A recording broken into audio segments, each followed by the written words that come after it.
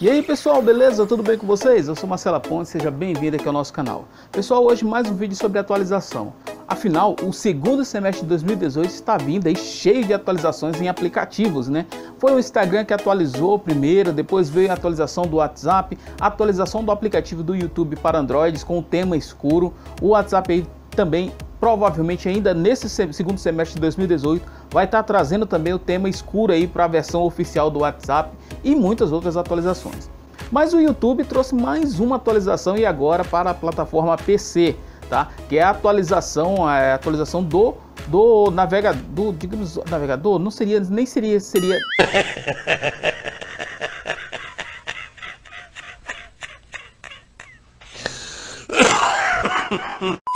não sei nem se seria navegador o termo correto, mas é uma atualização para o aplicativo do para o aplicativo.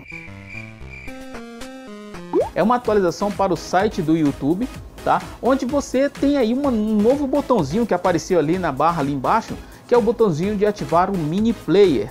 Você sabe o que significa? Como que funciona?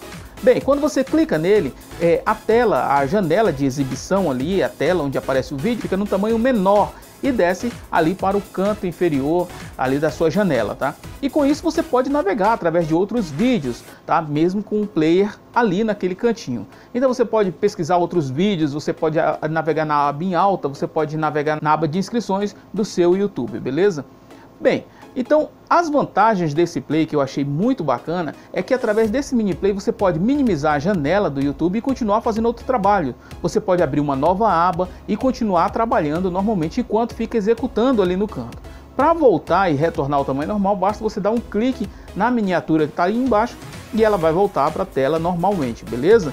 É, outra vantagem que eu achei é que através dali daquele mini play você também pode avançar para o próximo vídeo. Você tem um controle ali tanto para avançar como retroceder o vídeo também através da barra ali embaixo de progressão.